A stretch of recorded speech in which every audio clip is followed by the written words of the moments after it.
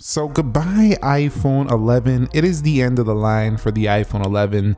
Apple has officially dropped this from their website as a phone you could just go in there and buy new. Now I've been constantly recommending the iPhone 11 over the past couple of years and the reason why I have done, done that is because it's been a pretty great phone. Got a really comfortable ergonomic feel in the hand. It does have a pretty good dual camera on the rear. It was a lot cheaper than the other iPhones and bigger than the iPhone SE. So it's gonna be missed as a cheaper option. However, don't be too disappointed because I do believe that they might bring the iPhone 11 back in the form of maybe the XR like body for the next SE. So let's see what happens there. Um, I'm pretty sure they can't keep that smaller SE design around forever. So we might see this resurrected in the future in the form of a future SE. So we'll just have to wait on that. But for now, but overall, let's take this brief video to kind of discuss where this phone stands now that it's not officially available. Is it something that's still worth buying here now that the 14s are out? It's going to be even a cheaper phone to buy. Keep in mind that the iPhone 11 still features a 6.1 inch LCD display. So this display right here is still gonna give you very similar to the size of a brand new iPhone. Colors wise though, this is not an OLED. So you're gonna see the viewing angles are gonna be a little bit less nice than on an OLED. Also, the colors are not gonna be quite as, you know, punchy, vibrant, but they still look very good for an LCD. And this still retains a 60 hertz panel unlike you know the pro versions which have a adaptive refresh rate of up to 120 hertz so the iphone 11 still giving you similar size but and the notch is starting to look a little bit older although they did keep the iphone 12 around which has a similar notch so this notch is not going to be around much longer either they still have the 12 on board but they have the 13s, the 14s, and they all have those smaller notches now. So this one is gonna start to feel quite old in just a year or so. So definitely that's something to note as well. Now I will say that is the body outdated? And the answer to that question is I, I would say yes. Apple is going in the direction of the more squared bodies now. So they've had them around since 2020. It is 2022, we're going into 2023. This design is getting a little bit older with its, you know, curved edges. Now, I have to admit though that I still really like the way this feels. Some people even think that the the way this kind of feels in the hand feels more premium than the newer iPhones and it's one of the reasons why they're keeping their, you know, iPhone 11 Pro Max or 11 Pros as well. I gotta say this phone still feels very thick and premium as well. So like it's got like very strong aluminum edges here that don't feel anything close to cheap. So I do enjoy that. So that's a pretty good thing about this. This is a very durable iPhone still, even if you decide to pick this up. Now, I will say too that this phone does feature that A13 Bionic. So there's not many products in the lineup that really feature the A13 anymore. So this chip is starting to get a little bit dated in terms of, you know, Apple's just kind of going the direction of pretty much everything has an A14, A15, something like that. Some of their, I think their tablets still might have an A13, but you know, A13 Bionic has 3.7 gigabytes of RAM on here, 2.66 gigahertz. I never really found this chip to be slow whatsoever. And honestly, ever since like the A12, I've been feeling like every chip just feels about the same. You just see better benchmarks and you see slightly better performance.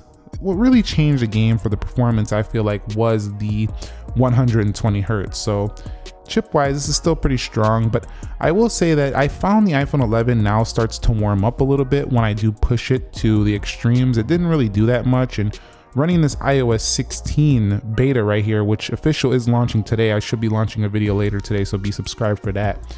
But running this iOS 16 version, it did warm up quite a bit. Again, this is beta software, that could be why. But overall, I gotta say, finding it to get a little bit more warm than I usually would have found this iPhone 11 to get warm in the past. Now, another reason why they're basically saying goodbye to the iPhone 11 is because this camera has been upgraded three times already. We had the iPhone 12 camera upgrade, wasn't major upgrades to that phone, but then we had the iPhone 13, slightly more upgrades, and everybody's saying the 14 is exactly the same as the 12 or the 13, and it basically is, but there is a slight difference in the apertures and the cameras, giving the 14 a little bit better low light performance. Now, this was one of those phones that introduced night mode, so definitely this one is going to be still pretty good. And I honestly think the iPhone 11 just basically has the base version of those camera upgrades that came with the iPhone 12, 13, and now 14. So this is like just the base entry version. And I feel like it's still very good. Like I can make videos on here in 4K 60. No one would know that I'm using an iPhone 11 to film these videos. That's how good the camera still is. So if you're looking for a secondhand phone and you want it for video and photo, I think the iPhone 11 blows away a lot of Android devices in its segment.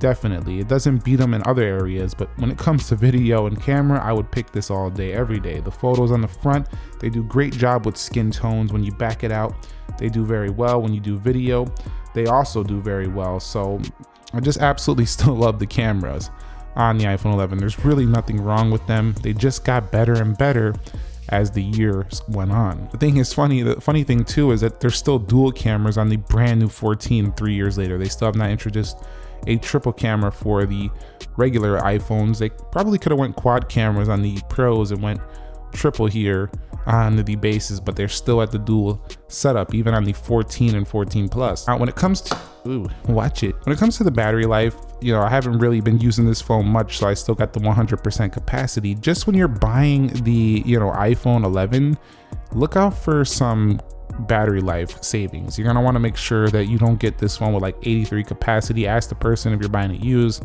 make sure it's not, you know, below like 85% because then the battery doesn't really last quite as long throughout the day. So battery life, I think has held up extremely well for the iPhone 11. This phone never really let me down.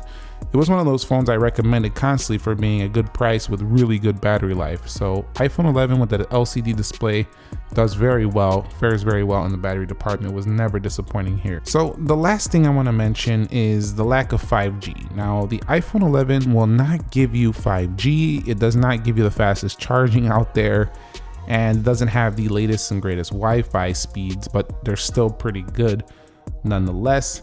In addition, the iPhone 11 is not going to be, you know, your best overall signal strength on in an iPhone. So it's really just a really good phone overall for its kind of durability, really good cameras, good size screen for good price. Other than that, I don't really see a lot of people wanting to pick one of these up unless you're just trying to try out iPhone for the first time and you don't really care about 5G. It's not really a big thing for you just yet.